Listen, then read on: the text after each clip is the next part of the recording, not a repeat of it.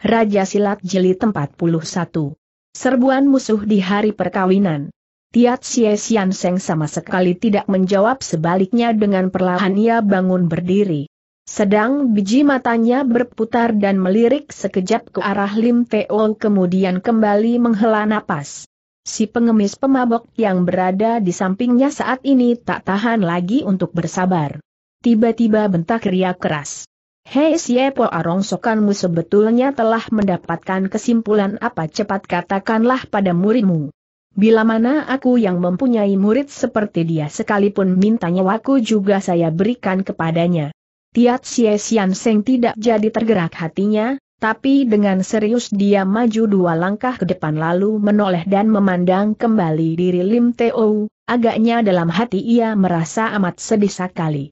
Sekonyong-konyong Lim Teo teringat kembali akan kejadian yang dialaminya sewaktu berada di lembah kabut di mana ia melihat tulisan yang terukir di atas dinding tebing serta tutup peti mati, tanpa berpikir panjang lagi segera katanya.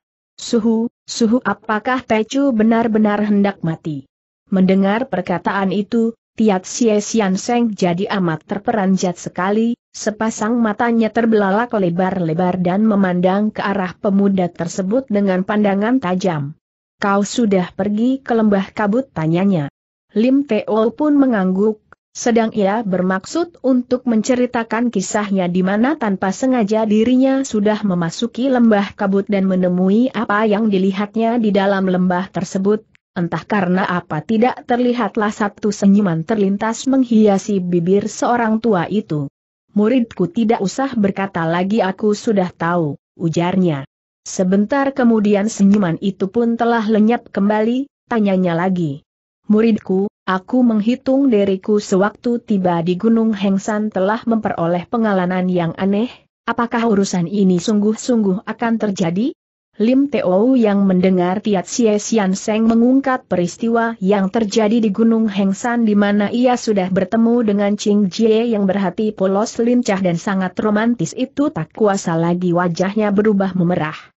Tetapi ketika dipikirkan yang dimaksudkan sebagai pertemuan aneh oleh Tiat Xie Xian Seng ia jadi bingung hampir-hampir saja nyawanya akan lenyap bagaimana mungkin hal ini dikatakan sebagai pertemuan apa yang kau maksudkan karena Teocu benar-benar tidak mengerti, ujarnya kemudian. Selesai berkata dengan mata, terbelalak lebar-lebar ia memandang ke arah Tiat Xie Xian Seng dan menanti jawabannya. Tiat Xie Xian Seng yang melihat Lim Teo tak dapat menjawab pertanyaannya, selintas rasa cemas serta khawatir berkelebat di atas wajahnya. Muridku, urusan ini sangat penting kau tidak boleh lupa serunya kembali, urusan ini pun aku tidak bisa membicarakan kepadamu rahasia langit tak boleh bocor karena dirimu sama sekali tak ada gunanya, Ingat-ingat semua peristiwa yang dialami oleh manusia telah ditetapkan oleh Tian bila mana kau tak berangkat ke Gunung Hengsan, maka ini hari sukar bagimu untuk meloloskan diri. Perkataan selanjutnya tidak sampai dibicarakan tetapi dengan kecerdikan Lim Teo ia sudah mengetahui kalau perkataan tersebut sama sekali tak ada keuntungannya bagi dirinya karena itu buru-buru sambungnya petuah serta peringatan dari suhu, Lim Teo tidak akan melupakannya, di kemudian hari mungkin bisa mengingatnya kembali. Dengan perlahan Tiat Xie Xian Seng mengangguk lalu termenung berpikir sebentar, mendadak wajahnya jadi sedih, air matanya kembali bercucuran membasahi kelopak matanya. Lim Teo jadi terperanjat dibuatnya, baru saja ia bermaksud untuk menanyakan sebab-sebabnya terlihatlah Tiat Xie Xian Seng dengan wajah keren dan serius telah bertanya kembali. Muridku, tentunya kau masih ingat dengan kitab pusaka yang paling aneh di kolong langit pada saat ini, Toa Elo Ochin bukan? Mimpi pun Lim, Teo tidak pernah menyangka kalau Tiat Xie Xian Seng tanpa sebab bisa menanyakan persoalan ini. Kitab pusaka atau ALO Keng adalah kitab pusaka milik supeknya Li Elo Ojie, buat apa dia menanyakan persoalan ini? Setelah berpikir sebentar, ia baru menjawab. Toa Elo Keng merupakan benda pusaka aliran Tun Si Pe dan menjadi milik supek. Bagaimana mungkin Tecu bisa melupakannya? Bagus sekali. Kalau kau memang masih ingat itulah amat bagus kata Tiat Xie Xian Seng selanjutnya. Ingat ilmu silat aliran ini sekalipun tidak bisa dibandingkan dengan kitab pusaka Tukong Pit Liok, tetapi cara berlatih tenaga dalam melebihi cara berlatih tenaga dalam menurut kitab pusaka Tukong Pit Liok ditambah lagi dengan perubahan jurusnya jauh lebih hebat kitab pusaka atau ALO Chin Keng ini. Lim Teo tidak mengetahui apakah maksud dari perkataan suhunya ini terpaksa mengiyakan saja. Baiklah aku dengan kedua orang susyokmu akan berangkat terlebih dulu ujar Tiat Xie Xian Seng lagi. Engatkah sewaktu menemui Iagi kitab pusaka Toa Lok Achin Keng saat itu pula kau bertemu muka kembali dengan diriku. Ingat, ingat. Lim Teo yang mendengar Tiat Xie Xian Seng beserta susyok-susyoknya si Shu Chai Buntung serta si pengemis pemabok hendak meninggalkan tempat itu, hatinya segera tergetar amat keras. Suhu serunya dengan sedih. Kenapa pada saat ini kau hendak pergi meninggalkan kami apakah suhu tidak tahu kalau Tecu pada ini hari? Berbicara sampai di situ Lim Teo tak kuasa melanjutkan kembali, buru-buru Tiat Xie Xian Seng menghibur. Muridku, kau tidak usah bersedih hati. Suhumu bukannya tidak ingin mengikuti perayaan perkawinanmu ini, hanya saja urusan terlalu mendesak, salah jalan setindak saja, pasti bakal mendapatkan penyesalan di kemudian hari, apalagi aku tinggal di sini pun tiada gunanya, muridku. Tentunya kau mengerti maksud dari perkataan suhunmu ini bukan? Lim Teo hanya setengah mengerti dan setengah tidak, pikirannya teringat kembali sebentar lagi bakal menemui musuh tangguh, bukankah lebih banyak orang, kekuatannya semakin besar? Kenapa tidak ada gunanya? Berpikir akan hal ini bijir natanya lantas berputar baru saja ia bermaksud untuk berbicara siapa tahu Tiat Xie Xian Seng jauh lebih cepat daripadanya. Buru-buru ia goyangkan tangannya. Muridku kau tak usah berbicara lagi, katanya.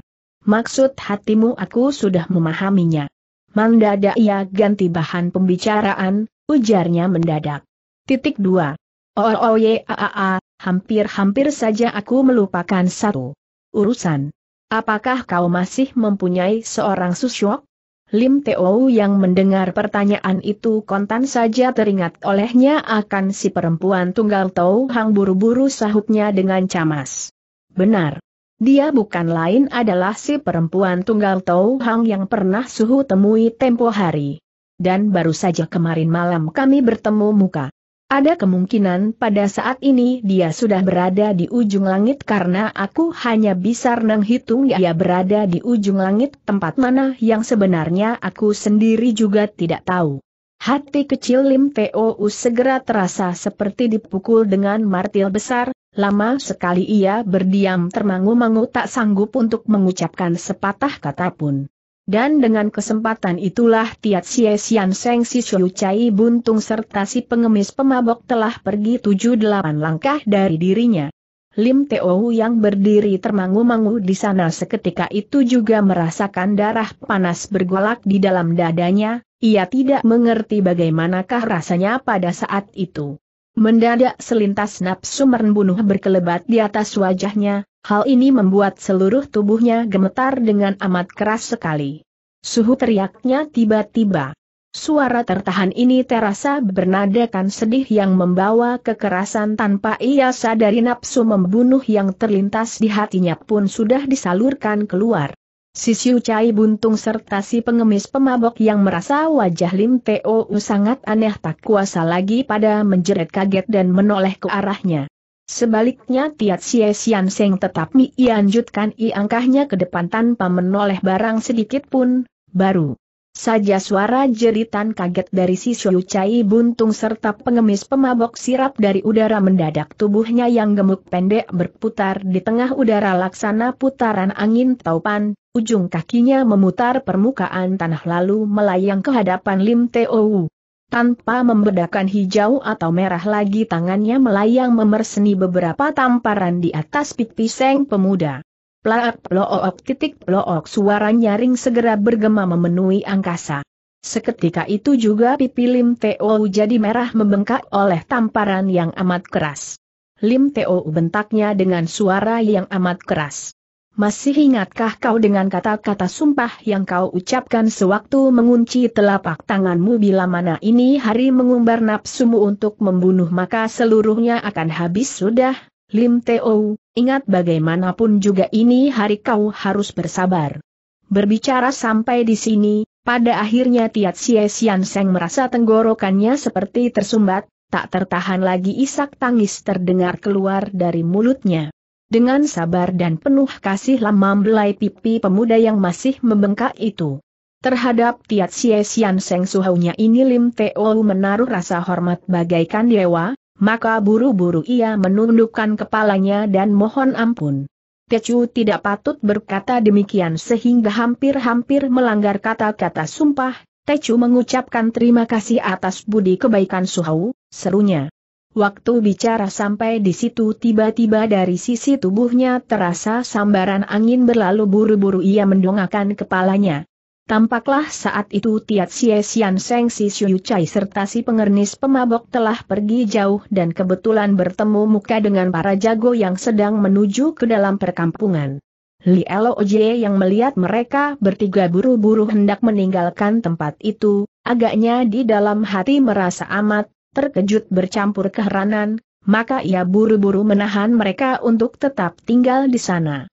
Bagi si Cai buntung serta si pengemis pemabok masih tidak mengapa, tetapi Tiat Xie Xian Seng sebaliknya kukuh hendak berlalu dari sana. Li Elo Oje yang melihat sikapnya yang kukuh itu hatinya jadi tidak senang, tetapi ia pun tidak berhasil menahan mereka, karena terpaksa si orang tua itu melepaskan mereka bertiga untuk berlalu dari sana.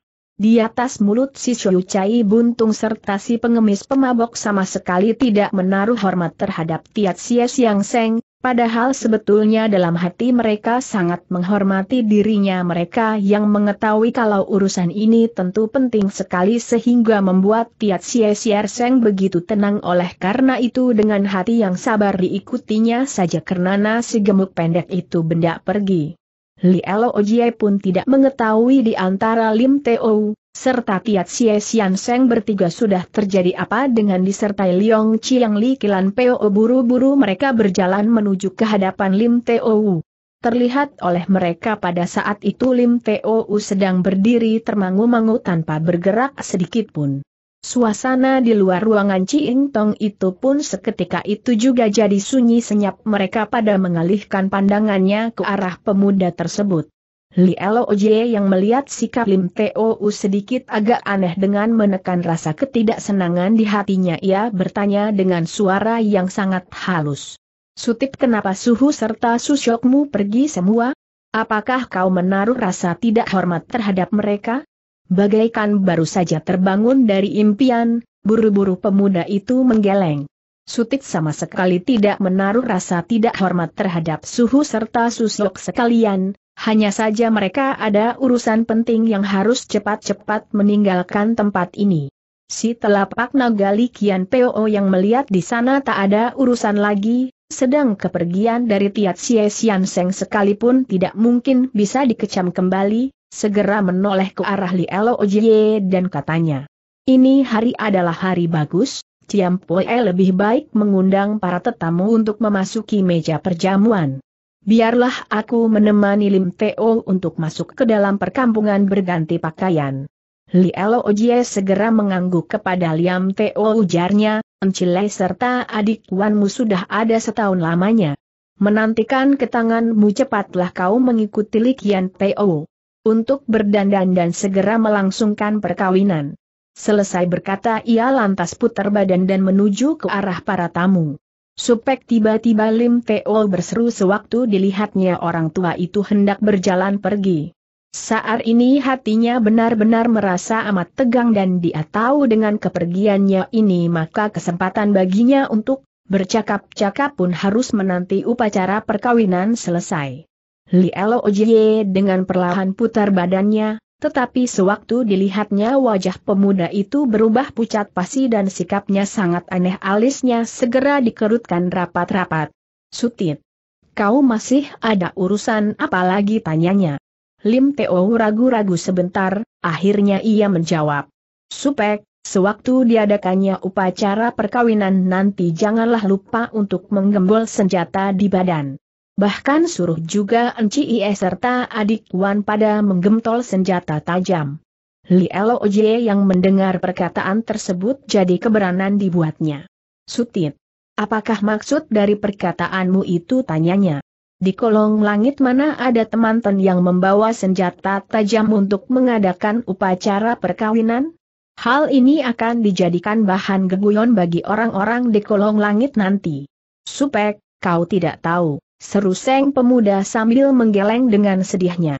Baru saja ia hendak menceritakan kisah munculnya dan tersebarnya musuh-musuh tangguh di sekeliling gunung Hamosan ini, mendadak terdengar para rakyat kampung Iahe Sancung yang telah berdiri di sebelah sisi ruangan CLNG Tong sudah pada berteriak keras.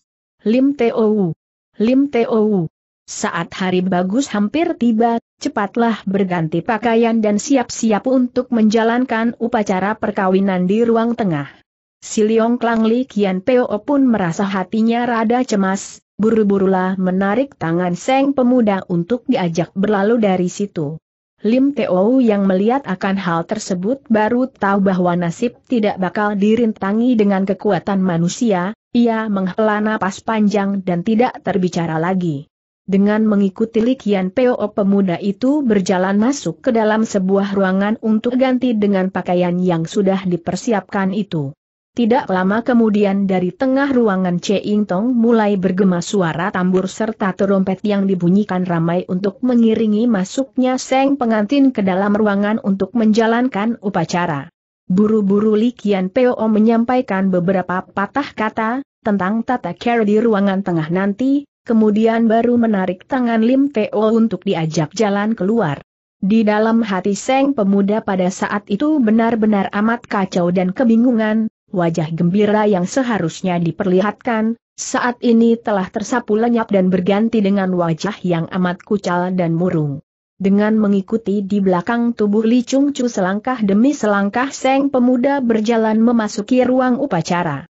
Dia orang sama sekali tidak takut terhadap bencana yang bakal menimpa dirinya, tetapi sebaliknya karena merasa takut kalau dia telah mengundang bencana yang mengerikan bagi seluruh rakyat Iehe Sancung karena bila mana hal ini benar-benar terjadi, sampai mati pun ia pasti akan menyesal.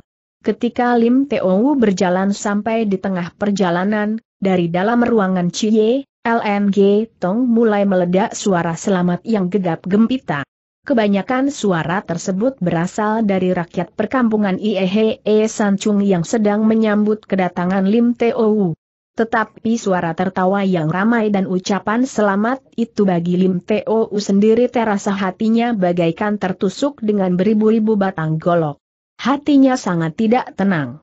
Pada saat itulah mendadak dari samping, Telinga Seng pemuda kembali berkumandang suara helaan napas yang amat sedih disusul dari Ching Jie yang perlahan dan menggunakan ilmu untuk menyampaikan suara berkumandang masuk. Lim Teo aku sama sekali tidak menaruh maksud jahat terhadap dirimu. Tadi aku sudah nasihati dirimu janganlah ke sana kenapa kau tetap kukuh baiklah aku tunjukkan sesuatu kepadamu coba kau tolehkan ke Arab sebelah timur.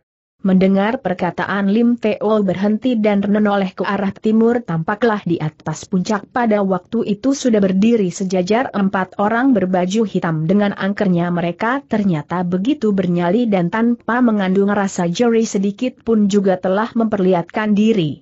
Sekarang kau tolehkan ke arah hutan di belakang perkampungan. Dan tengok pula ke tengah udara, seru Ching Jie kembali. Jarak antara hutan dengan perkampungan itu amat dekat sekali pandang saja Lim Teo dapat menangkap dari antara CIA pepohonan telah muncul kurang lebih dua puluhan orang jagoan. Hatinya jadi berdesir, karena saat ini ia mulai kalau orang itu adalah jagoan dari partai Kiam Tian Pei. Baiklah pikirnya kemudian. Aku sudah dua kali mengampuni mereka, mereka masih juga tidak tahu malu dan terus-menerus mencari gara-gara dengan diriku. Kali ini aku harus hajar mereka sampai hancur lebur. Kepalanya dengan perlahan menengadah ke atas, tampaklah dua ekor burung Raja Wali raksasa dengan gagahnya terbang kian kemari. Lapun sadar bila burung-burung itu adalah burung piaraan dari Tian Pian Xiao Chu. Kini ia mulai merasa bila bencana bagi dirinya tak berakal terhindar lagi menimpa diri Enci Ie, adik Wan serta seluruh rakyat perkampungan Ie E Sancung. Si telapak nagali klan PO yang melihat Lim Teo ragu-ragu untuk melangkah maju kembali menariknya supaya berjalan lebih cepat iagi. Lim Teo terdesak akhirnya sambil menggigit bibir dengan langkah yang cepat ia berjalan masuk ke dalam ruangan Cie Ing Tong di bawah sorakan rakyat perkampungan Lehe E San Chung serta tambur dan trompet yang gegap gempita. Acara perkawinan segera akan dimulai di dalam ruangan. Lim Teo langsung berjalan menuju ke tengah-tengah ruangan di mana kedua orang pengantin perempuan telah menanti di sisi meja upacara. Setelah pertemuan sebentar mereka bertiga bersama-sama menuju ke depan meja sembahyang untuk mulai menjalankan upacara. Pada waktu itu mendadak si telapak nagali Kian Po dengan wajah penuh senyuman berteriak keras. Tunggu sebentar. Cai Hai ada sepatah dua patah kata yang hendak diutarakan terlebih dahulu. Atas kecintaan dan penghargaan dari para Ciampoe, dua golongan Po dan Li, Aku Li Kian Po telah meneruskan jabatan sebagai cungcu dari tangan Ang In Pian selama setahun tiga bulan lamanya. Cai Hi merasa bahwa hal ini merupakan suatu tugas yang maha berat dan tak mungkin bisa dilaksanakan dengan baik oleh aku orang Shili. Kini Lim Teo sudah kembali ke dalam perkampungan, bahkan ia berhasil pula melewati ketiga buah rintangan alam itu dengan sempurna.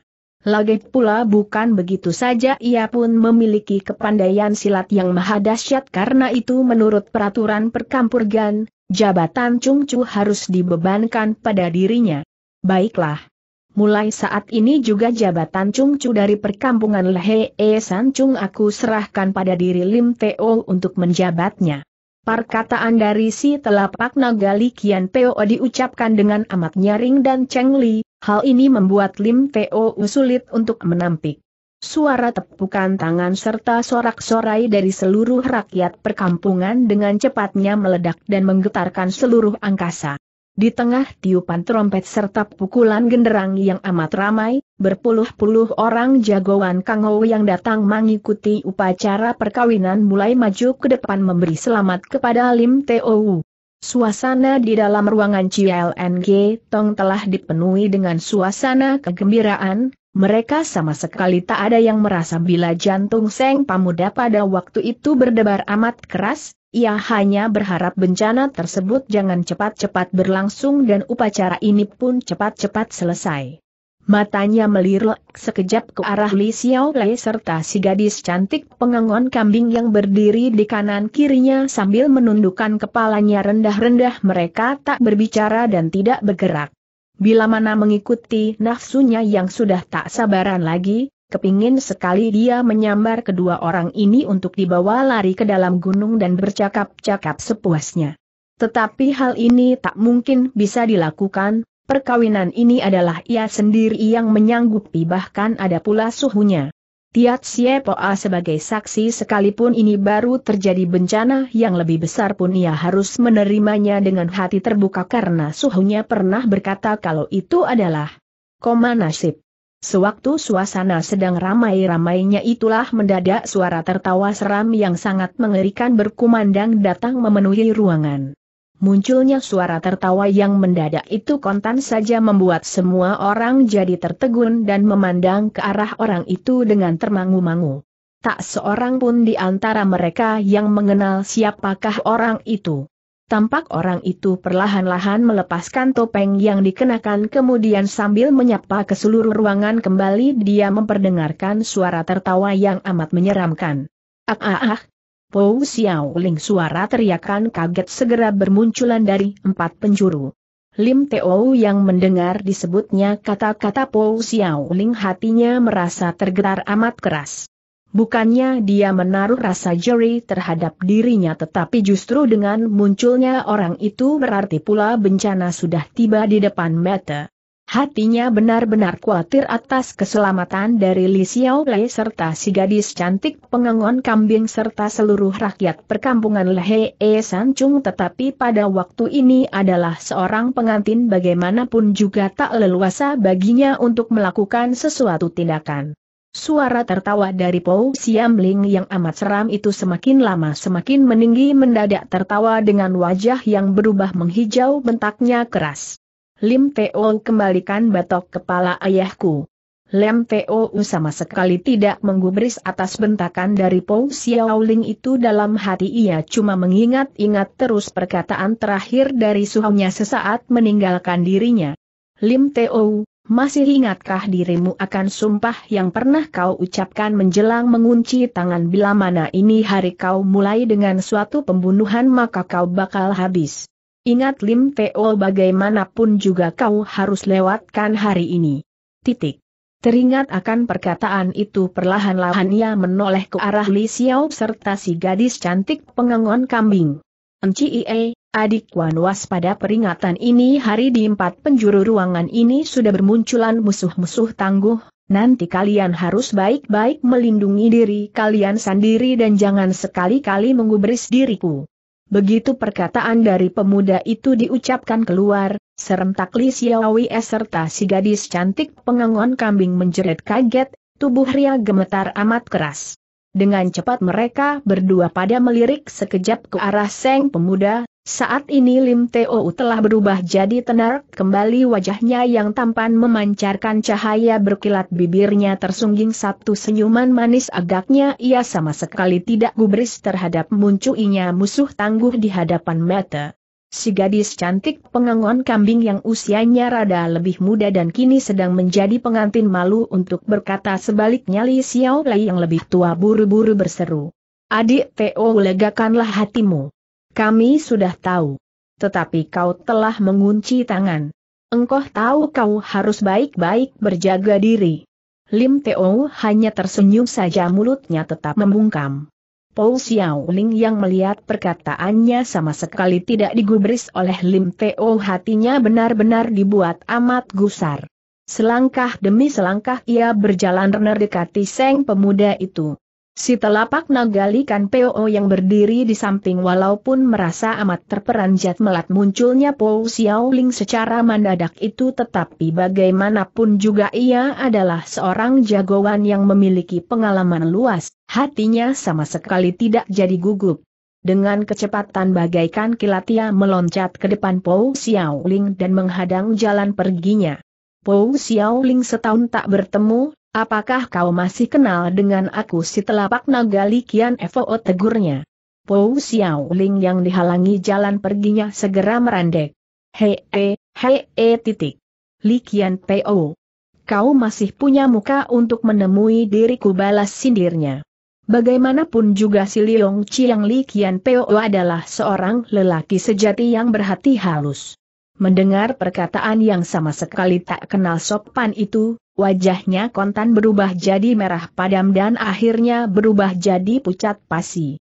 Ia benar-benar terkesima buatnya.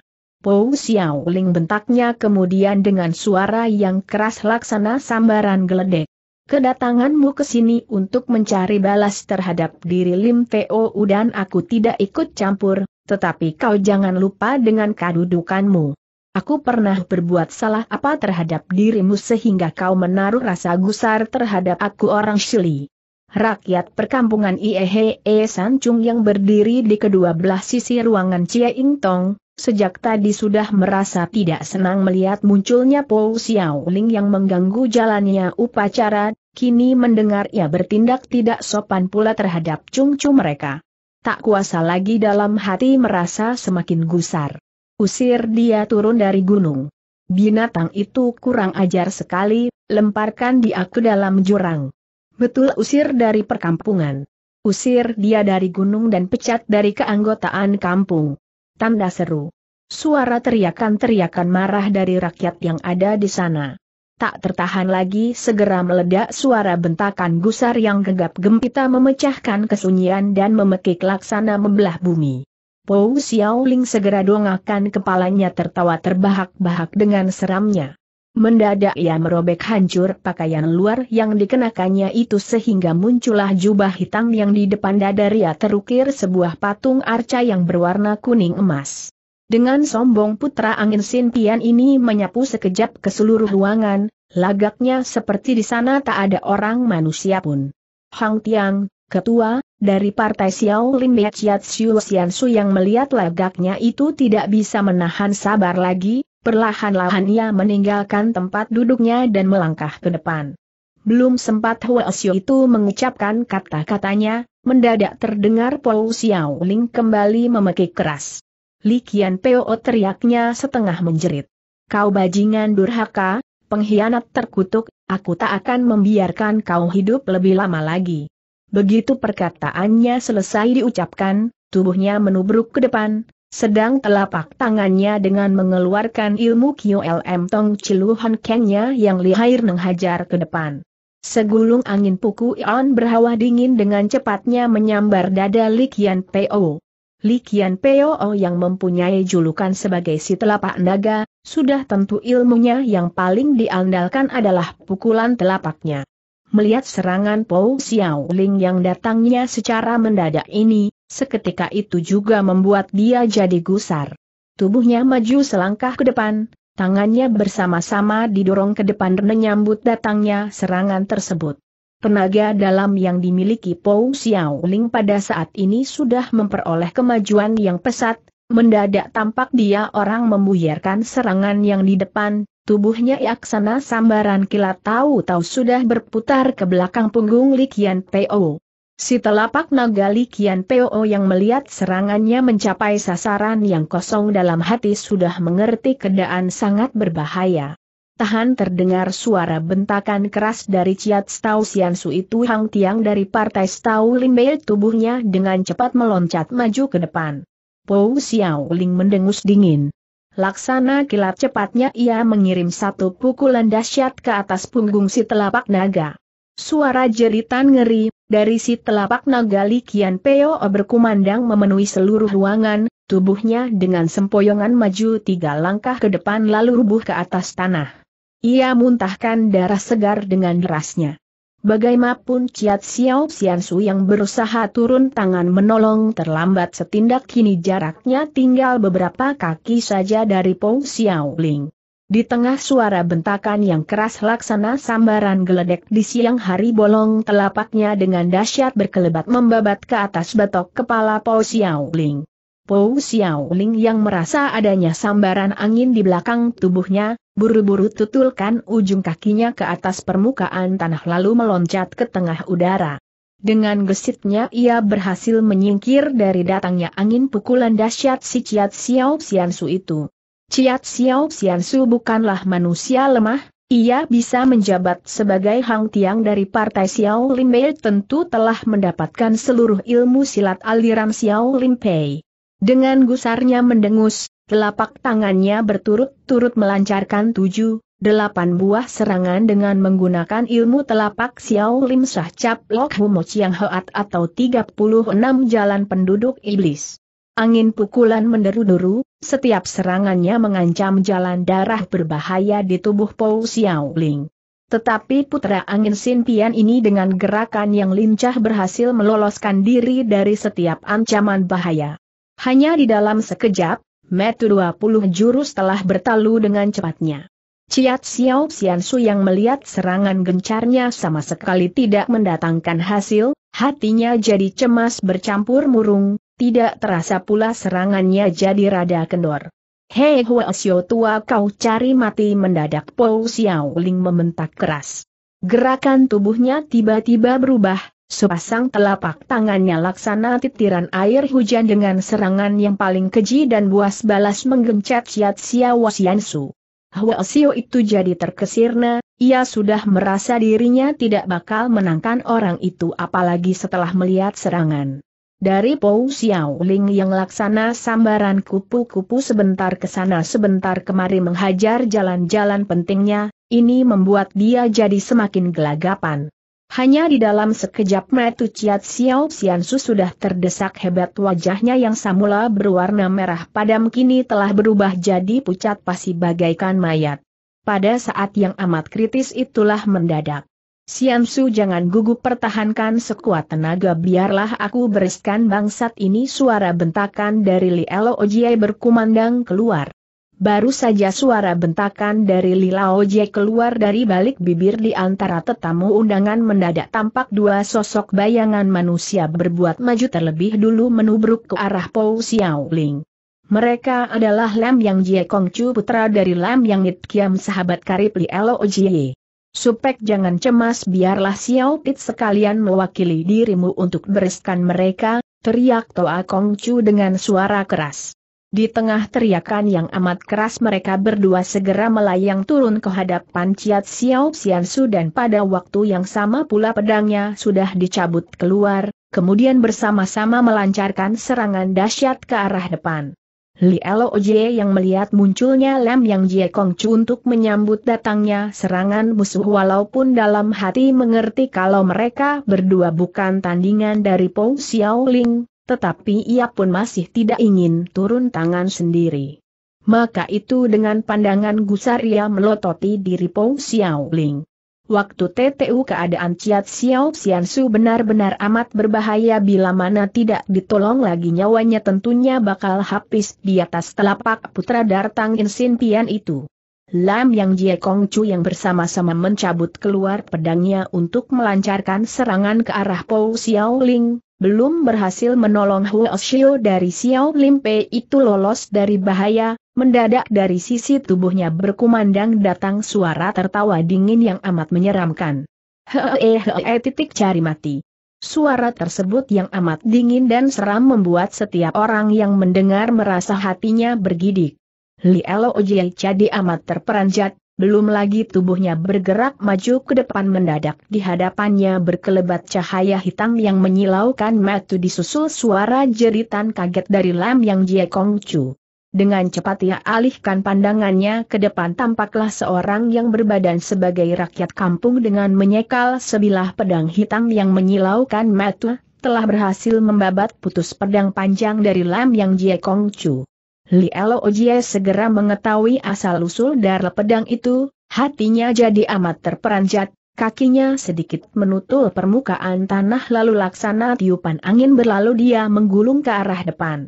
Tetapi gerakannya kembali terlambat titik suara jeritan ngeri yang menyayatkan hati bergema memenuhi angkasa, tubuh Lam Yang Jie Kong Chu sudah rubuh ke atas tanah dengan bermandikan darah. Kedua jeritan ngeri tadi hampir-hampir saja meledakkan hati Li Elo Ojie seketika itu juga ruangan upacara perkawinan berubah jadi medan pejagalan yang yang mengerikan. Suasana dalam ruangan Cie Ing Tong kacau balau, rakyat kampung Ie Han Chung pada melarikan diri terbirit-birit. Waktu ini Li Elo Ojie tak ada perhatian lagi untuk mengurus rakyat kampung Lehi, Chung yang kacau balau kini dia hanya memperhatikan pedang hitam yang bagaikan sambaran ular beracun serta angin pukulan Po Xiao Ling yang menderu-deru mendesak Ciat Xiao Xian Seng ke pojokan tembok sehingga keadaannya sangat berbahaya sekali. Li Elo Ojie tak bisa berdiam diri lagi ia salurkan hawa murninya ke seluruh tubuh kemudian meloncat maju ke depan. Po Xiao Ling kau berani. Suara bentakannya ini keras sekali bagaikan sambaran geledek di siang hari bolong membuat Po Xiao Ling jadi sangat terperanjat. Pada saat itulah Li Elo Ojie sudah menubruk datang, sepasang telapak tangannya dengan menggunakan jurus Jielang Tansan atau Jielang memikul gunung yang kiri menangkis serangan pedang hitam sedangkan tangan yang kanannya membabat tubuh Po Xiao Ling. Po Xiao Ling yang merasa dari belakang tubuhnya menyambar datang segulung angin pukulan dahsyat. Buru-buru meloncat ke samping untuk menghindar. Mengambil kesempatan itu Ciat Xiao Xiansu menarik napas panjang-panjang, tubuhnya melayang mundur sejauh lima langkah ke belakang. Walaupun begitu napasnya sudah ngos-ngosan sedangkan matanya melotot bulat-bulat. Po Xiao Ling yang melihat Lilo Ojle berhasil menolong Ciat Xiao Xiansu lolos dari bahaya, ia segera tertawa tiada hentinya. Kau cu serunya. Lebih baik kita bereskan dulu anjing tua ini. Tangannya dibalikan mencabut keluar cambuk perkut piannya kemudian dengan disertai sambaran angin tajam menyapu ke depan. Kiranya orang yang mencekal pedang hitam itu bukan lain adalah Sin Beng Kau Chu Bu Beng Tok Su adanya. Tampak dengan perlahan ia melepaskan topengnya yang berwajah seram dan melepaskan pula pakaian rakyat kampung yang dikenakan sehingga muncullah sebuah jubah hitam yang berukiran patung arca berwarna merah darah. Ia sama sekali tidak menggubris terhadap kata-kata dari Po Xiao Ling, mendadak Bubang Tok Su, Kau Chu, dan Sin Beng Kau Chu ini bersuit nyaring sehingga menggetarkan seluruh ruangan Cie Ing Tong. Begitu suara suitan berkumandang keluar, di dalam sekejap mata saja dari luar ruangan Cie Ing Tong bermunculan empat orang tua berbaju hitam yang mencekal senjata tajam dan pada jalan darah tai yang hiat di keningnya pada menonjol keluar, jelas mereka telah berhasil meyakinkan tenaga dalamnya paling sedikit puluhan tahun latihan. Kiranya Bu Beng Tok Su telah membawa ke enam orang siang cunya kini empat orang sudah masuk ke dalam ruangan dan dua orang sisanya tertinggal di depan pintu. Belum saja mereka berempat tegak Bu Beng Tok Su sudah kebatkan pedangnya menuding Li Elo Ojie. Tangkap dia, perintahnya. Sejak munculnya Po Xiao Ling dan terjadinya perubahan-perubahan yang di luar dugaan ini Lim Teo sama sekali tak ambil gubris dengan tenangnya ia berdiri di tengah ruangan di antara apitan si gadis cantik pengangon kambing serta Li Xiao agaknya merasa urusan tersebut bukanlah suatu urusan yang berat. Keempat orang Siang Chu berbaju hitam itu bagaikan menerima perintah dari Kaisar dengan cepat menggerakkan senjata tajamnya mengurung Li Elo Ojie rapat-rapat. Mereka adalah anak buah Ciet Cie Tau Tau tempo dulu setiap orang bukan saja memiliki pengalaman bertempur yang luar biasa bahkan bersikap dingin dan tidak gugup. Sekalipun Li Elo Ojie mempunyai kepandaian silat yang lebih tinggi, bila mana terkurung oleh beberapa orang itu untuk sesaat pun tak bisa berbuat apa-apa. Dengan cepatnya suatu pertempuran sedarah yang amat seru berlangsung dalam ruangan Cie Ing Tong tersebut. Ditambah pula mereka berempat sama sekali tidak mencari-cari jasa, dengan sabarnya keempat orang itu bertempur secara bergilir sehingga memaksa Li Elo Oje menjadi camas dan sulit untuk meloloskan diri. Bu Beng Tok Su yang melihat Li Elo Ojie sudah terkurung dengan perlahan baru menoleh ke arah Lim Teo, tetapi dengan cepatnya ia sudah dibuat tertegun oleh sikap Seng pemuda yang begitu tenang dan angkernya. Hatinya jadi ragu-ragu untuk bertindak maju, bisiknya kemudian kepada Po Xiao Ling. Po Xiang Chu, coba kau lihat sikap dari Lim Teo si bangsa cilik itu, Tentu di balik kesemuanya ini ada hal-hal yang tidak beres. Po Xiao lain pun waktu itu mengerti maksud hati dari Bu Beng Tok Su, dia tahu dia sengaja melepaskan diri Li Ojie justru dikarenakan hendak mencari balas dengan tujuan mereka yang utama, Lim Teo. Menurut penglihatanku agaknya tidak ada siasat apa-apa di balik itu, tetapi biarlah aku mencobanya terlebih dulu, kemudian kau cu baru turun tangan, sahut Po Xiao Ling. Bu Beng Tok Su segera mengangguk. Lim Teo. Kembalikan kepala ayahku, bentak Po Xiao Ling kemudian dengan suaranya yang keras.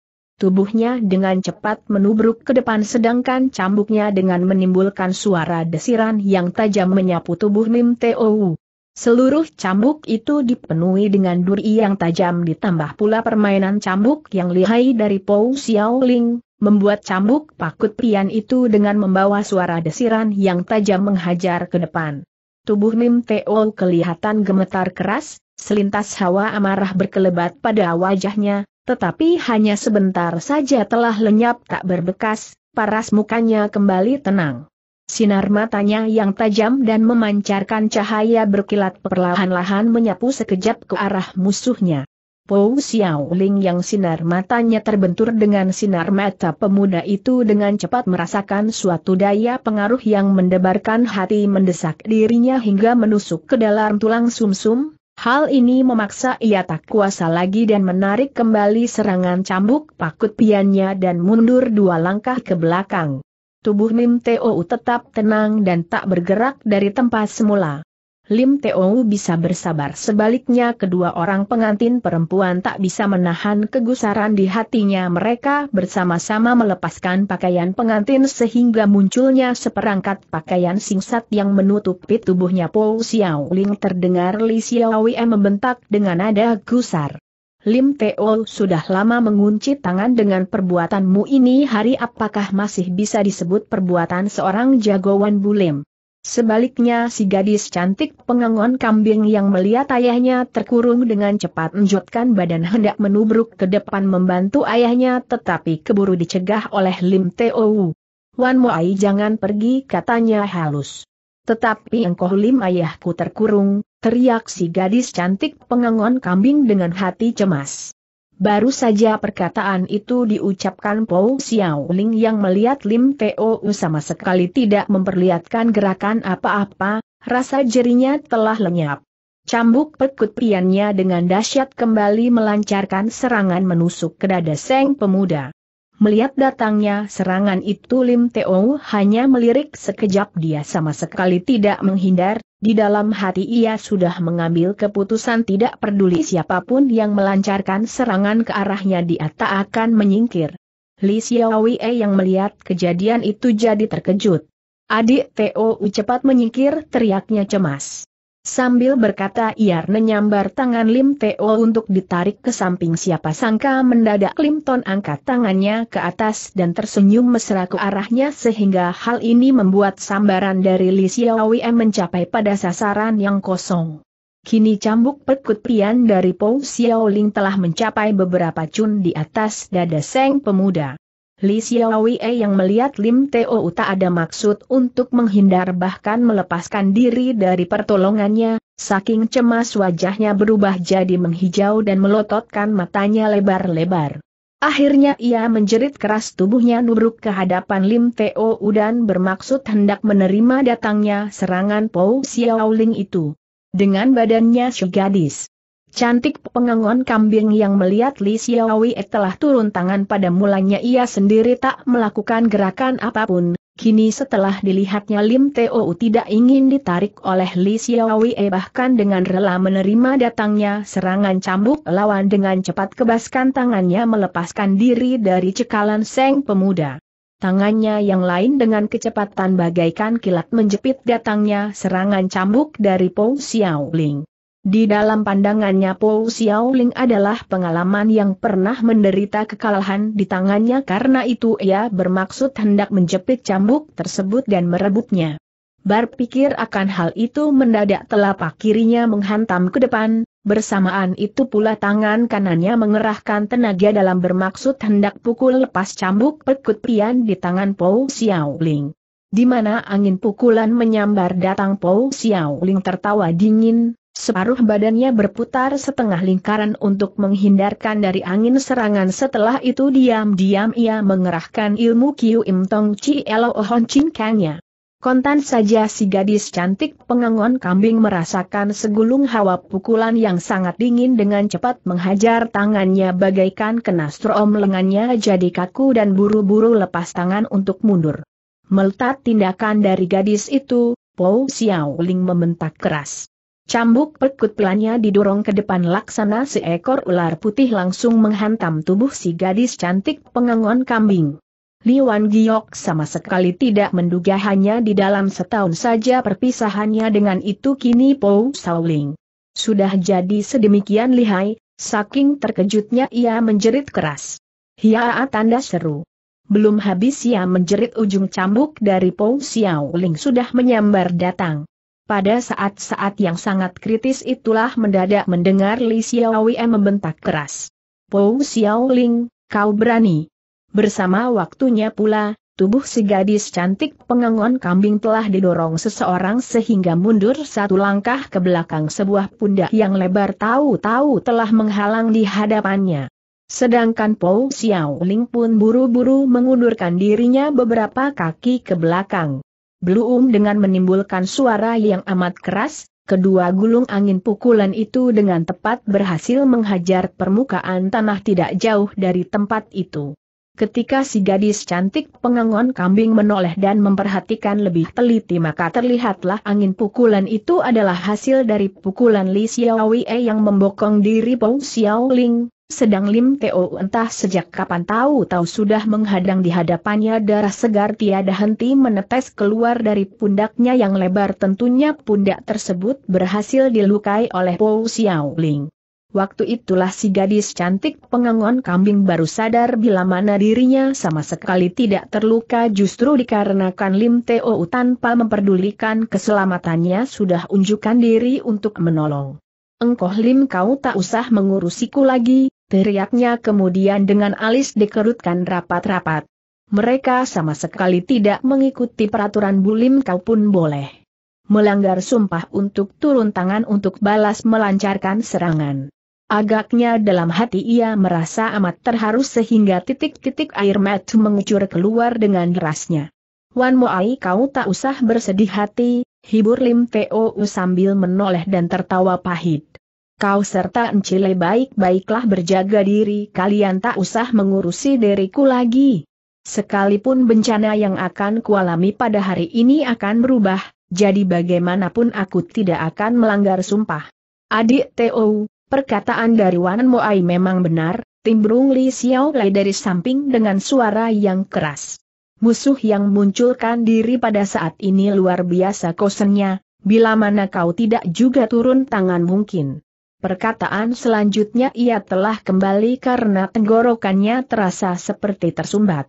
Tetapi Lim Teo hanya tundukkan kepalanya saja tanpa mengucapkan sepatah kata. Mendadak si gadis cantik pengangon kambing mengangkat kepalanya dan memandang ke arah depan, waktu itu Li Elo Oli dengan sekuat tenaga lagi melancarkan serangannya melawan serangan-serangan gencar dari keempat orang berbaju hitam itu, walaupun tidak sampai terkalahkan tetapi dari keningnya sudah mengucurkan keringat sebesar kacang kedelai. Ketika memandang pula ke arah keempat orang berbaju hitam itu, mendekati senjata tajam mereka tak berhasil mendekati Li Elo Ojie tetapi kerjasamanya sangat erat. Suatu ingatan dengan cepat berkelebat dalam benaknya. Bila mana ia harus bergebrak terus seperti ini, lama. Ketamaan bukankah tenaga murninya akan menemui kerugian dan akhirnya kalah pikirnya di hati. Tanpa terasa lagi hatinya sudah berdebar keras. Engkoh Lim teriaknya kemudian dengan cemas.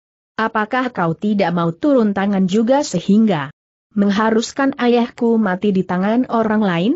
Sekalipun Lim Too mempunyai ketenangan yang tinggi pun setelah mendengar perkataan itu hatinya terasa seperti digodam dengan martil besar, hawa murninya dengan cepat mengalir dari pusar membuat darah lega mengucur keluar dengan derasnya dari mulut luka di pundaknya.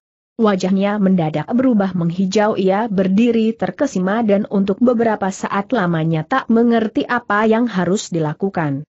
Karena hatinya kacau, maka ketetapan hatinya pun ikut goyang, nafsu membunuh mulai berkelebat memenuhi wajahnya bila mana ada orang yang membakar hatinya sekali lagi mungkin ia segera akan turun tangan.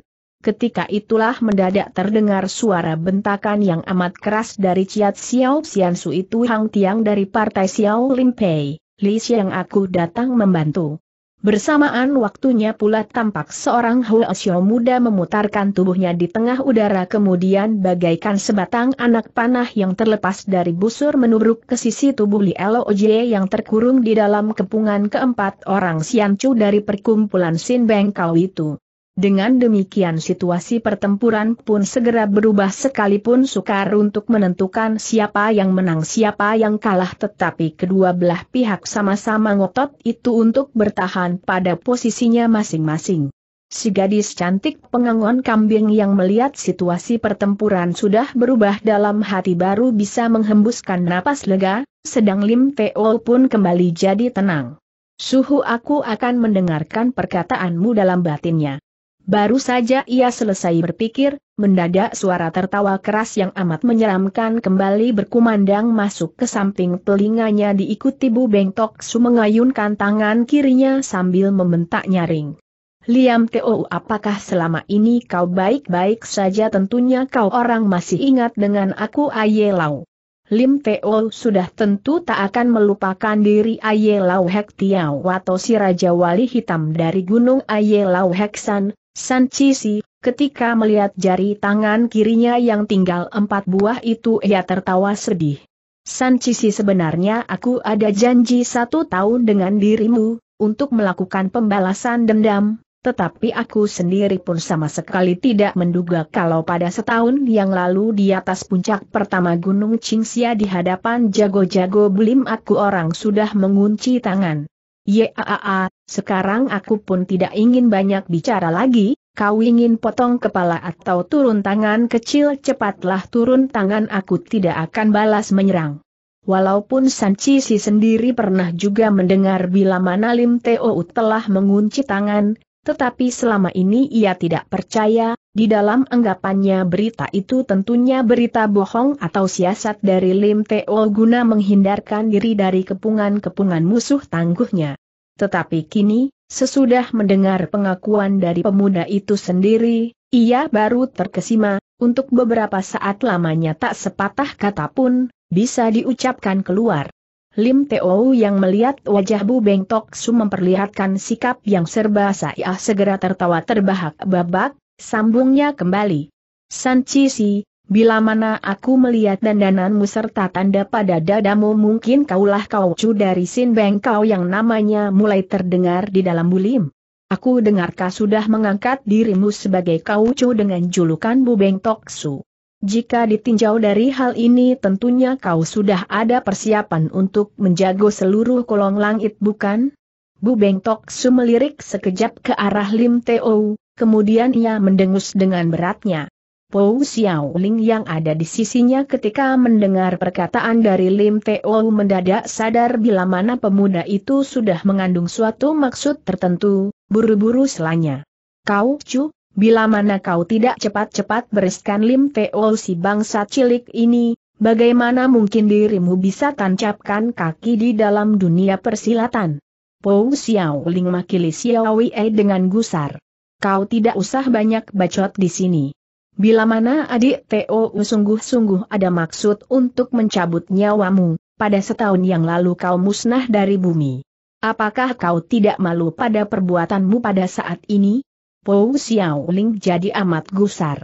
Lim Teo sudah membunuh ayahku bahkan memenggal batang lehernya, bila mana dendam ini tidak aku balas, bagaimana aku bisa bertanggung jawab terhadap arwah ayahku?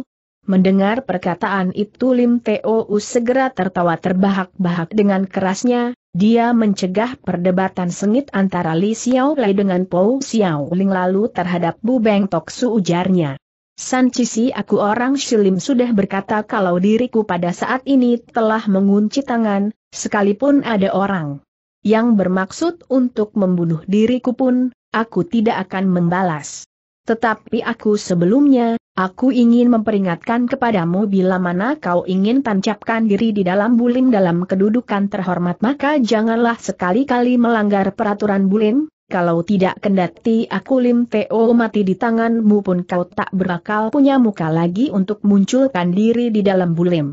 Pou Xiao Ling yang mendengar perkataan itu sampai di situ wajahnya kontan berubah hebat dalam hari ia benar-benar terasa takut bila mana hati Bubang Tok Su benar-benar kena dibakar sehingga meninggalkan tempat itu.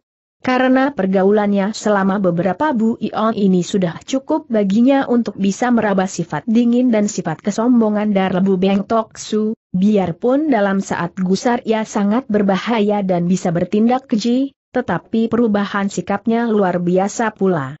Bila mana dibiarkan terus dan digosok pula oleh Lim Teo, mungkin sekali ia bisa angkat kaki. Pou Xiao Ling yang takut kejadian itu sampai terjadi, segera angkat cambuknya menghantam ke depan. Liam Teo, kau berani memaki kau cu kami bentaknya. Cambuknya dengan disertai sambaran angin yang tajam menyapu datang tetapi baru saja cambuknya meluncur sampai di tengah jalan mendadak batok kepalanya terasa seperti ditekan dengan segulung angin pukulan yang maha dahsyat hal ini membuat dia jadi menjerit kaget dan meloncat mundur ke arah belakang. Di tengah ruangan Cie Ing Tong mendadak melayang turun Oi Ipoh itu akan murid dari si Ching Leong tu si Piao tahu wajahnya sukar untuk dilukiskan dan dengan tajam ia melototi Pou Xiao Ling sambil bertertak. Kau tidak usah berlagak jago. Kau tidak usah berlagak jago. Sambil berkata mendadak dia putar badan dan mengirim satu pukulan ke arah Lim Teo. Lim Teo bentaknya keras, asalkan aku bisa melampiaskan kemangkelan hatiku maka urusan bakal beres sudah, kau terimalah pukulanku ini. Li Xiaowi serta si gadis cantik pengangon kambing sama sekali tidak menduga dia bisa melancarkan serangan secara tiba-tiba, di dalam keadaan terperanjat mereka berdua buru-buru mendorongkan sepasang telapaknya untuk memunahkan datangnya serangan tersebut. Siapa sangka ilmu pukulan yang digunakan oleh Ipoh pada waktu itu adalah ilmu pukulan Xian Hang Qian dari Hang San Pei. Walaupun angin pukulannya menyambar dari depan tetapi kekuatan serangannya memutar dari belakang tubuh. Baru saja sepasang telapak Li Xiaowi serta si gadis cantik pengangon kambing dilancarkan ke depan, terdengarlah Lim Teo mendengus berat tubuhnya terjengkang maju satu langkah ke depan. Walaupun begitu Seng pemuda tidak sampai memuntahkan darah segar, jelas Oe Ipoh sudah turun tangan ringan terhadap dirinya. Oe Ipoh yang melihat serangannya berhasil mencapai pada sasarannya dengan amat gembira ia tertawa tergelak, kemudian meloncat ke tengah udara sambil serunya. Liam Teo, untuk ini hari urusan di antara kita aku permisi sampai di sini dulu tubuhnya yang ada di tengah udara berjumpalitan beberapa kali kemudian laksana sambaran kilat meluncur ke arah Pou Siamling. Pou Xiaoling ketika melihat Oe Ipoh memiliki gaya gerakan yang begitu indah buru-buru melintangkan cambuk perkut piannya ke atas kepala untuk menantikan datangnya serangan dari pihak musuh. Hanya di dalam sekejap saja seluruh ruangan sudah dipenuhi dengan bayangan Oe Ipoh seorang diri yang menyambar kian kemari, sedang jagoan lainnya pada berdiri melongolong di sisi kalangan. Sebaliknya Li Xiaowi serta si gadis cantik pengangon kambing dengan cemas membimbing bangun tubuh Mim Teo. Kau sudah terluka. Bagaimana dengan keadaan lukamu tanya kedua gadis itu dengan hampir berbareng. Air muka Lim Teo pada saat itu amat pucat sedang keadaannya rada payah kepalanya terasa amat pening sedang dadanya mual, untung saja tenaga dalam yang dimilikinya sudah mencapai pada taraf kesempurnaannya. Setelah mengatur pernapasan beberapa saat lamanya perasaan itu berhasil ditekan keluar dari dalam tubuhnya. Ah ah ah, tidak mengapa sahutnya kemudian sambil tertawa ketika mendengar pertanyaan dari dua orang gadis itu. Oei Ipoh tidak akan bertindak kejam. Kemungkinan pula ia bukan hanya sekali saja mendatangi perkampungan Mamo Sancung kita ini.